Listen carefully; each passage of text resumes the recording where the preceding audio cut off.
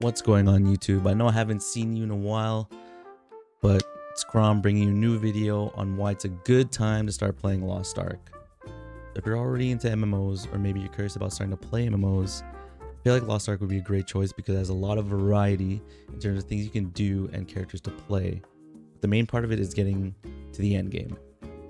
Right now, we have three tiers, and tier three is essentially where the quote unquote end game begins. And tier 3 is where we have what I think is the most fun content in the game, which is Legion raids. If you know nothing about this game, tier 3 seems like it would take a while to get to, and in the early months of the game's release, it was. The grind was very real. But now, Amazon Games and Smilegate have given us players, and especially now new players, so many ways to help our characters get there. Um, so for you who are curious about Lost Ark, this is why now is a perfect time to start playing. So let's go through um, the most recent big update, which was the Spells in Spades, which happened July 20th, I believe. Yeah, July 20th. So let's get to the main thing. So for new players, we have this new thing called right here, the Mokoko Challenge. So it's only for new players people who haven't played within the past 30 days or have made a new account. So you get a, what is called a Mokoko buff. So players that have a new account or haven't played within the past 30 days or have no characters at item level 1370 or higher will receive the Mokoko buff. Users with the Mokoko buff will deal 20% more damage to monsters and take 40% less damage. After 90 days pass or character and rosters reach item level 1370, you will no longer be considered a new adventure and the buff will end. So that means that as you're leveling, you'll be able to clear the content faster and level up faster without using any items and things like that. Not only that, but you also get mission challenges or challenge missions, sorry. So Mokoko challenge missions. Players that have the Mokoko buff active can complete special missions to earn honing and other progression materials, helping them reach item, le item level 1370. When the Mokoko buff ends, the Mokoko challenge missions will no longer be available, and unclaimed rewards for completed missions will be sent to universal so storage. So, not only do you clear the content quicker, but there are challenges that you can do to gain progression materials.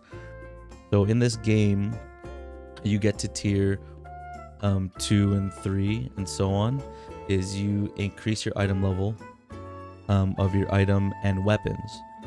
And to do that, you need honing materials. So these challenges will give you those honing materials to help you along the process.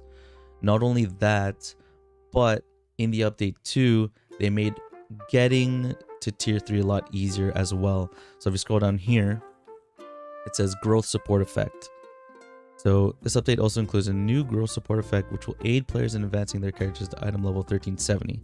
So once you hit max level, which is, or not necessarily max level, but max level for the end game or tier one, I guess. It's level 50, but max level 60.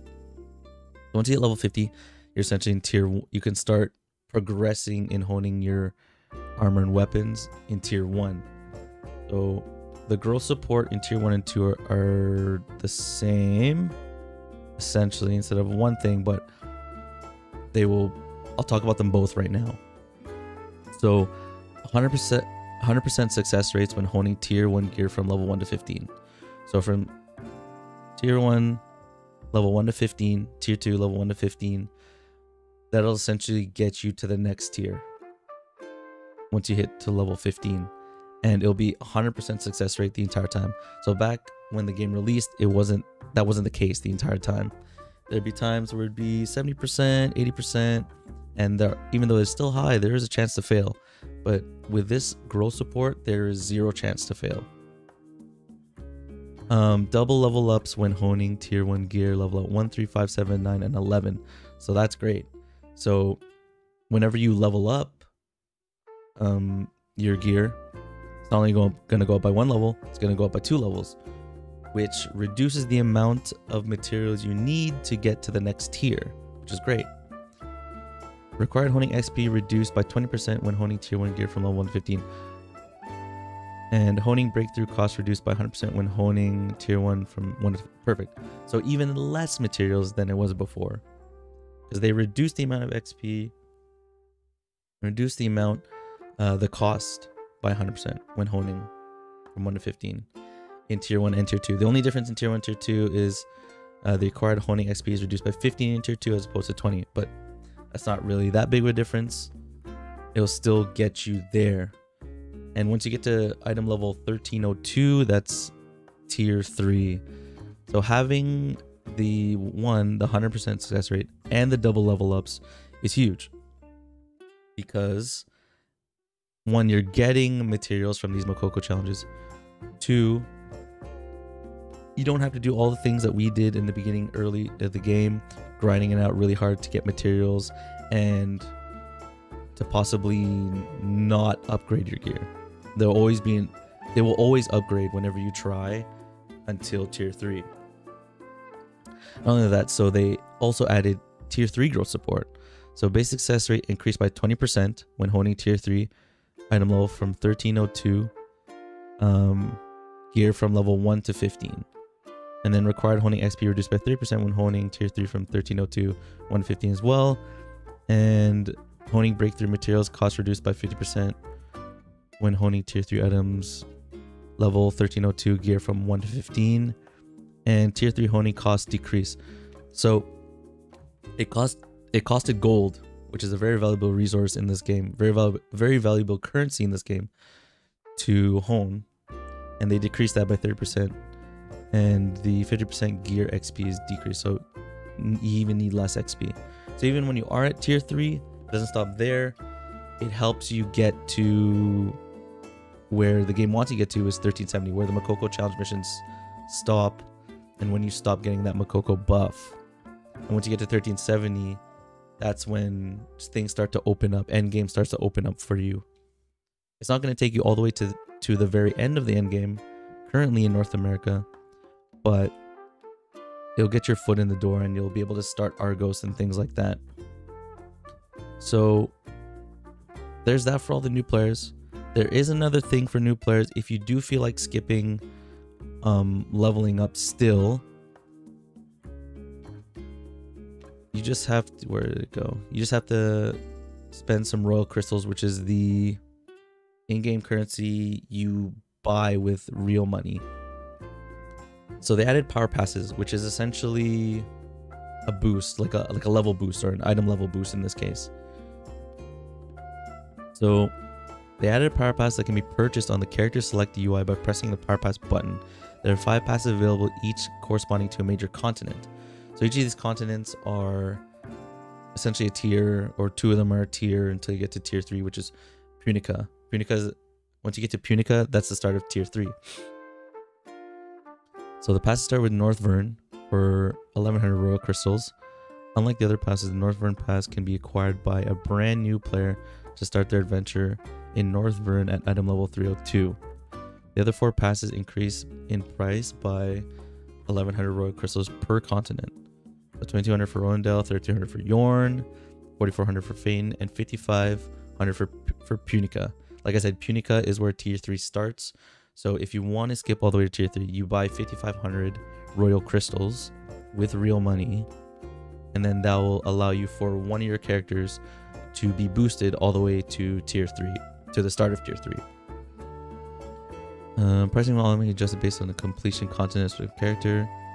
Okay, so that essentially means, say you've progressed to a certain point. Say you've progressed to, um, let's say, to North Vern, which is the beginning of tier 1. And you want to use a boost on that character that has completed North Vern. You can you still have to buy it, but it's you only have to buy the difference. So say you want to go from North Vern all the way to Punica, um, you only have to spend 4,400 royal crystals for that. Uh, players will be able to purchase these power passes even if they're not completed yet. Perfect. So if you're a very new player and you don't feel like leveling at all, you can still buy these power passes or character boosts um, to boost your first character. These passes will be used immediately upon purchase as not eligible for refund. Okay. Um, as of right now, um, when I recorded this video, um, right now the power passes are disabled because I believe there was a bug um, involving them. So right now they are disabled. So hopefully by the time you see this or see this down the road, they will be available and you'll be able to do that as well. Now let me just show you um, how the power pass will work. So I have my game open here and these are all my characters. They're all in tier three, but I do have one that I don't really play over here who's in tier two right now. Um, like I said, the power passes are disabled right now, but if they were available, what you do is you press this power pass button and there'd be all of the content, the power pass, power passes for each continent in here and their respective prices down here for the character involved. So this character I believe is in early tier 2, so he would be about here. And if I want to get to Punica, um, I would have to pay 2200 to get to Punica. And you use the power pass, you buy the crystals, and that's that. Actually, let me show, let's see how much the crystals are right now. So here we are in the in-game shop, and I'm on the Royal Crystals purchase screen.